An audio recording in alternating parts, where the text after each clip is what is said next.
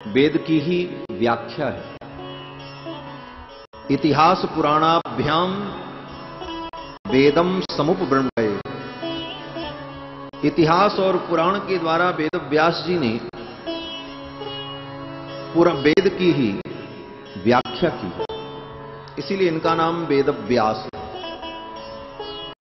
वेद का इन्होंने व्यास किया। व्यास माने विस्तार। ऐसे तो इनका नाम कृष्ण द्वैपायन है द्वीप में पैदा हुए इसलिए द्वैपायन। कृष्ण इनका नाम है। वेदों का विस्तार किया इसलिए वेद व्यास इनकी उपाधि।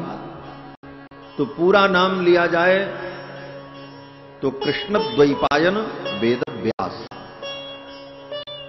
तो श्री व्यास जी महाराज ने पुराणों के माध्यम से महाभारत ग्रंथ के माध्यम से वेद की ही व्याख्या की।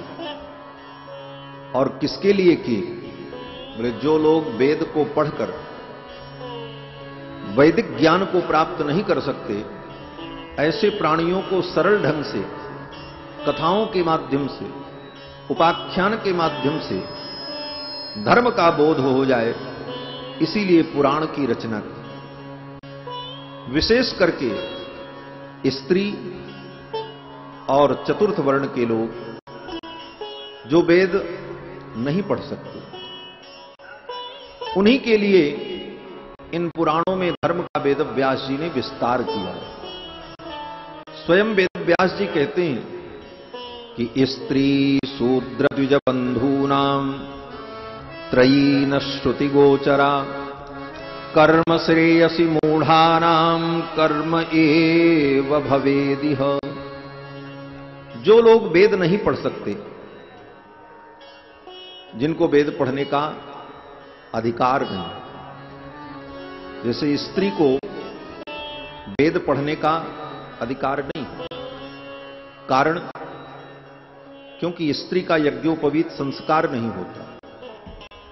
जिसका यज्ञोपवीत संस्कार होता है, वही वेद पढ़ सकता है। ये नियम। है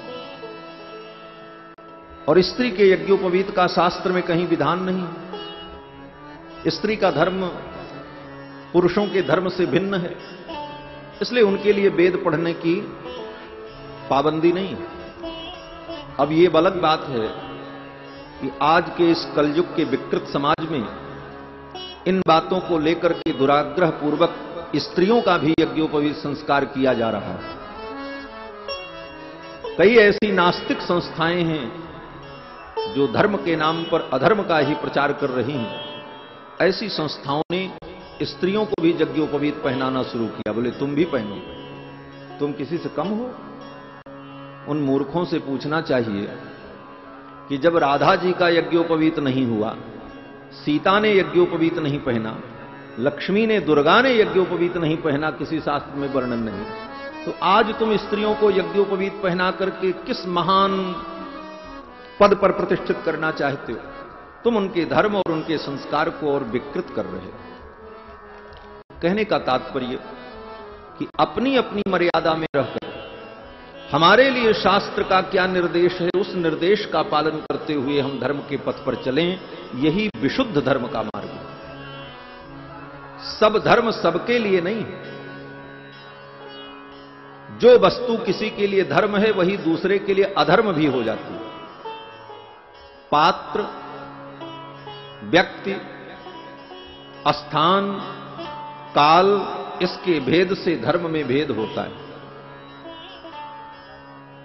एक गृहस्थ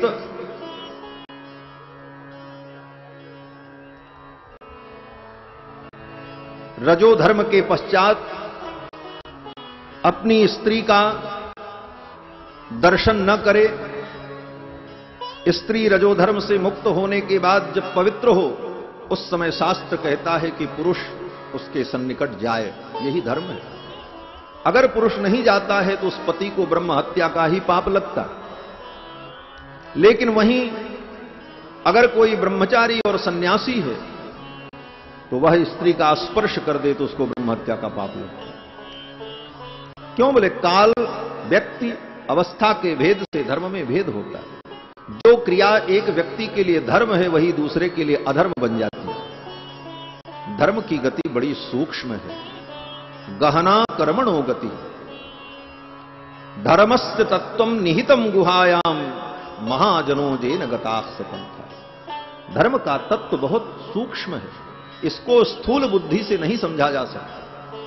सूक्ष्म बुद्धि से जिन महर्षियों ने समझ करके जो संकेत दिया है, उस संकेत को हम समझें और तदनुकूल आचरण करें।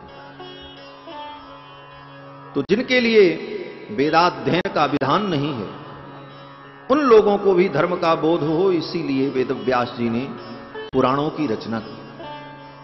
वेद व्यास जी कहते हैं, इतना रचना करने के बाद भी मेरे मन को शांति नहीं मिल रही। असंपन्न युवा भाती। मेरे मन में अपूर्णता का अनुभव हो रहा। क्या कारण? तो नारद जी ने कहा कि व्यास जी, आपने महाभारत में और पुराणों में यथा धर्मादयश्चार्था मुनिवर्यानुकीर्तिता।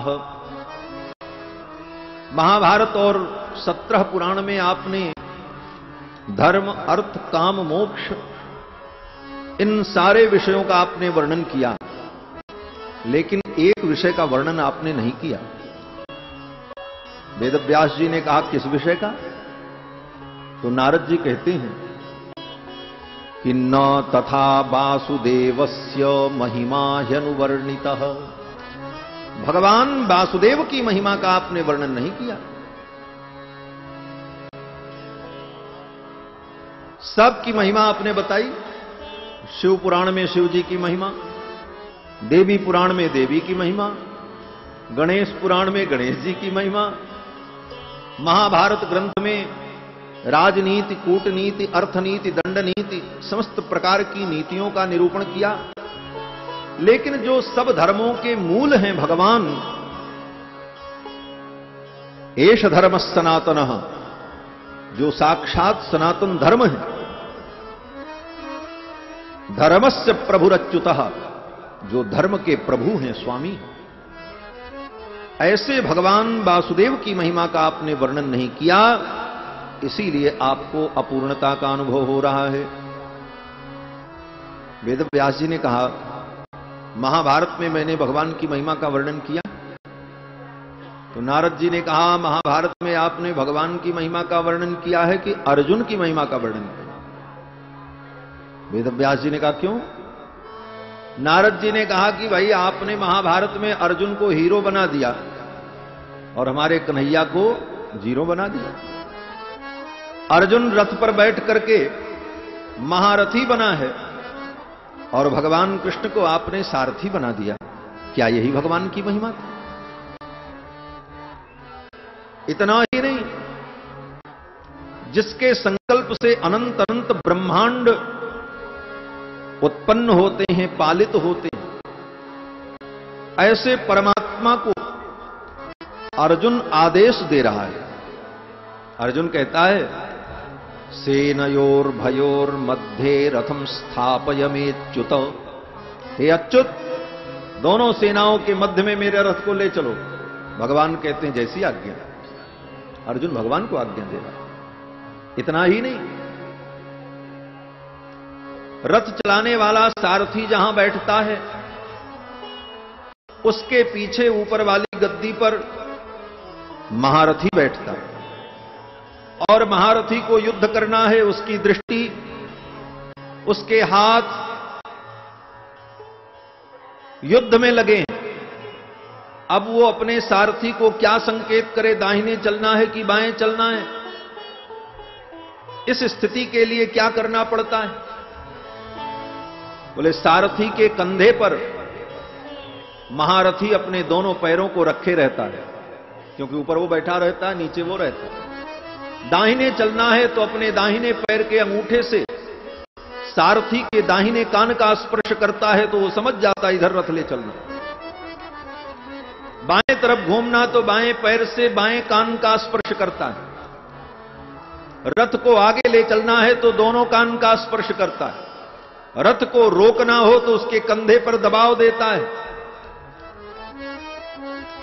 नारद जी कहते हैं, परब्रह्म परमात्मा सच्चिदानंद कृष्ण, जिनके चरण कमल रज की प्राप्ति के लिए, जिनके चरण कमल के नखमणि चंद्रिका की एक ज्योत्सना को प्राप्त करने के लिए बड़े बड़े ऋषि मुनि, अमलात्मा, महात्मा, विमलात्मा लोग जन्म जन्मांतर कल्प कल्पांतर जुग जुगांतर तक।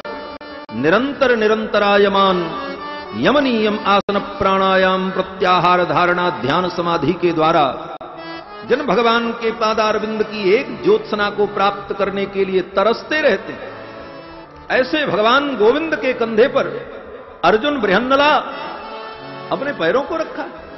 क्या यही कृष्ण की महिमा थी? इसीलिए आपका हृदय अपूर्ण न तथा वासुदेव से महिमा हिरुवर्णिता वेद व्यास जी ने कहा, देवर्ष, आपने मेरे ज्ञान चक्षु खोल दिए। मैंने तो कर्म को, नीति को, धर्म को, इसी को महत्व देकर इसी का वर्णन किया, लेकिन सबके मूल जो भगवान हैं, उनकी महिमा का वर्णन मैं नहीं कर सका। अब मुझे क्या करना चाहिए? नारद जी ने कहा, भगवान की महिमा का वर्णन करो। बोले, भगवान की महिमा को मैं कैसे जान पाऊँगा? तो नारद जी ने कहा कि समाधिनानुस्मर तद विचेष्टितम। अपने मन को जब समाहित करके भगवान का ध्यान करोगे तो भगवान का संपूर्ण चरित्र, उनकी महिमा तुम्हारे बुद्धि में प्रस्फुरित हो जाए। और श्री नारद ने वेद व्यास जी को चार श्लोकों में भागवत तत्व का ज्ञान दिया और नारद जी ने अपने पूर्व जन्म का वृत्तांत बताया। नारद जी ने कहा, मुझे देखो, मेरे ऊपर भगवान की कितनी कृपा हुई। नारद जी कहते, मैं पूर्व जन्म में दासी का पुत्र था। मेरी माँ लोगों के घर में बर्तन माजती थी और जिसके घर में बर्तन माजती थी, एक दिन उनके यहाँ संत लोग आए। और वे संत लोग कई दिनों तक रुके, चातुर्मास्य किया। मेरी माँ उनकी सेवा में रहती, मैं भी उनकी सेवा में रहता। पाँच वर्ष की अवस्था।